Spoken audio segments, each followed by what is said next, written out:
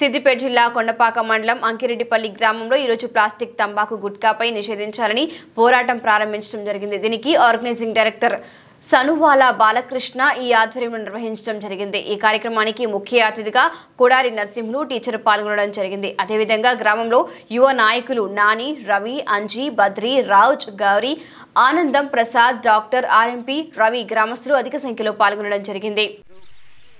మన నుండి సిద్దిపేట జిల్లా కొండపాక మండల్ ఐంటూరుపల్లి గ్రామం నుండి ప్లాస్టిక్ నివారణపై తంబాకు గుట్కా దానిపై పోరాటం చేయడం జరుగుతుంది కాబట్టి ప్రతి ఒక్కరూ యువకులు ఈరోజు నాకు వెన్నంటూ ఉండి అదేవిధంగా నాకు ఎన్నో విధాలుగా సహకరిస్తూ నర్సన్న గారు కూడా ప్రతి ఒక్కటి అన్నకి తనంగానే వచ్చి అరే ఆ విషయానికి మంచి విషయానికి వచ్చి సహకరిస్తా అని చెప్పేసి అన్ని విధాలుగా ఆయన వెన్నంటూ ఉండి ముందు జరిపిస్తున్నారని కోరుకుంటున్నాను.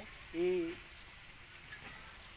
ప్రోగ్రానికి దీనికి వచ్చిన యువకులందరికీ పేరు పేరు నా కృతజ్ఞతలు తెలుపుతూ ముగిస్తున్నాను.